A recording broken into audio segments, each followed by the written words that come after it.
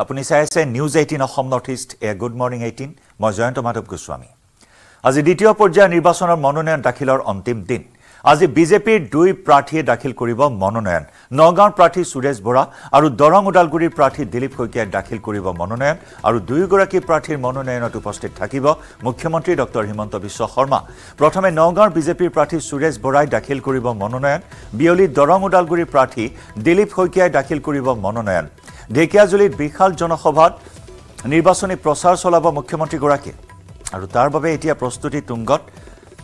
দৰং ওদালগুৰিৰ প্ৰাৰ্থী দিলীপ শইকীয়াৰ মনোনয়ন দাখিল পৰ্বত অংশগ্ৰহণ কৰিব। তাৰ পূৰ্বে প্ৰথমে নগাঁৱৰ প্ৰাৰ্থী সুৰেশ বৰাৰ মনোনয়ন দাখিল পৰ্বত অংশগ্ৰহণ কৰিব মুখ্যমন্ত্ৰীগৰাকী আৰু তাৰ পিছতে চলাব নিৰ্বাচনী প্ৰচাৰ।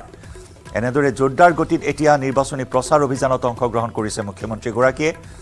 প্ৰথমে মাজুলী তাৰপিছত ডিফু সৰুপথাৰ তৃতীয়টো দিনটোত আমি দেখিবলৈ পাইছিলোঁ মুখ্যমন্ত্ৰীগৰাকীয়ে বৰাকত নিৰ্বাচনী ৰণসিঙা বজালে। আজি চতুৰ্থটো দিন। চতুৰ্থটো দিনত আজি নগাঁও আৰু ঢেকীয়াজুলিত ৰণসিঙা বজাব মুখ্যমন্ত্ৰীগৰাকীয়ে। এক এপ্ৰিলৰ পৰা সোতৰ এপ্ৰিল পৰ্যন্ত ঊনচল্লিছখন জনসভা সম্বোধন কৰি প্ৰচাৰ অভিযান চলাব মুখ্যমন্ত্ৰী ডক্টৰ শৰ্মাই।